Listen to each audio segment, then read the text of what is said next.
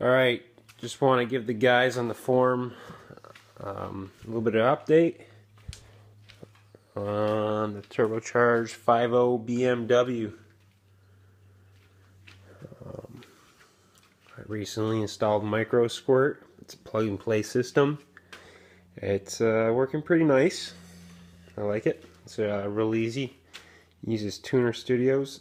I deleted any of my wiring harness, the Ford Mustang wiring harness.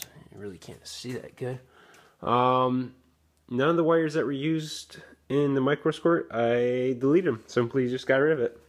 Uh, mass sensor, EGR, uh, slew of things. There are all the wires.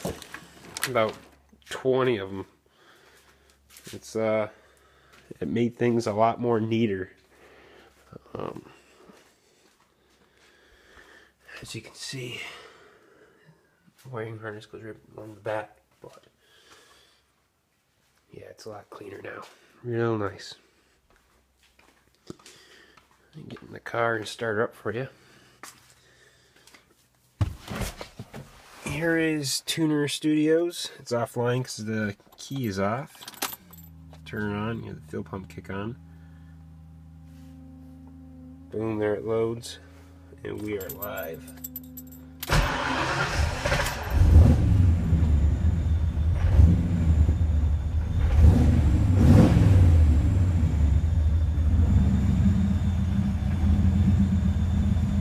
So I have spent probably 45 minutes on getting it so it run. It comes with a stock map, but however I installed 440cc injectors. As you can see, the tune I have right now is not perfect, but it's making progress. I go to my fuel table. See where I'm... This was all 30% uh, injector cycle duty, and I dropped it down to around 7 or 8 live now car is warmed up, so I guess I could rev it up.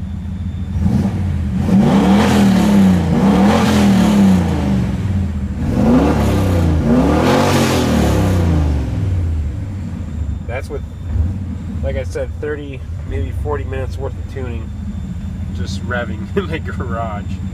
I haven't taken down the road yet, but that's the gist of it. Not too bad.